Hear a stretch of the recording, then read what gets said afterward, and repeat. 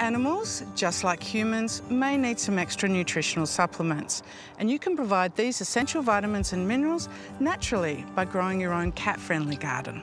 It's never been easier. I'm off to Swan Valley Nursery to check out the variety of cat herbs and grasses.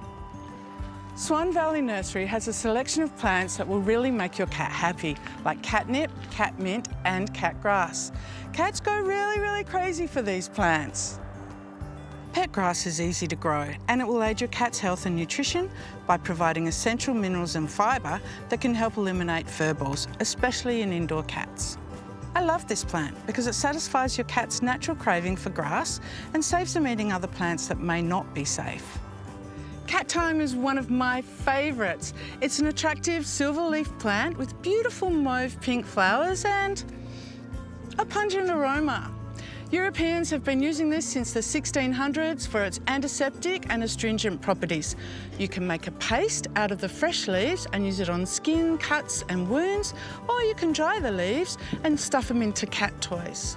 But remember, some, but not all kitties are attracted to this. Like humans, cats also have their recreational substances. Catnip, lemon catnip and cat mint all provide your cat some happy sniffing. Lemon catnip is an attractive fragrant flowering shrub that gives cats a natural high and buzz on the taste buds.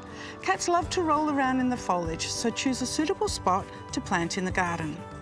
Lemon catnip and traditional catnip is also known to ease stomach complaints in humans when made into tea. If you're looking for an alternative to catnip, catmint is a tough plant and it's full of nepetalactones, which provide your feline with a happy high.